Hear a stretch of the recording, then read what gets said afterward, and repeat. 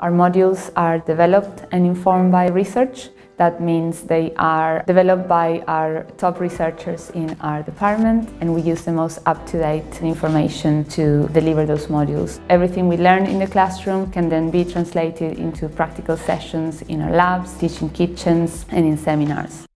Students can have access to our collaborators within the UK and also internationally. Students can use that network for placements, dissertations and any research projects they may be interested in. In this program, students will get involved with different types of learning activities. We will have our classic lectures where students can develop their critical thinking and be exposed to problem-based learning. Students can also participate in practicals in the labs that will include our physiology lab, our food chemistry lab and our teaching kitchen.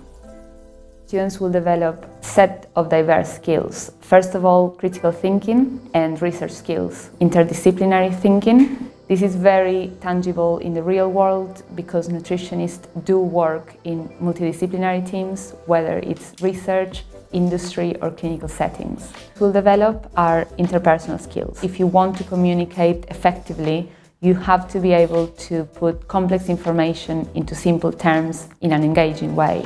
Our students can choose really to tailor their career to what they want to be after this degree. It is accredited with the Association for Nutrition. Students will graduate and they will be eligible to be associate nutritionists.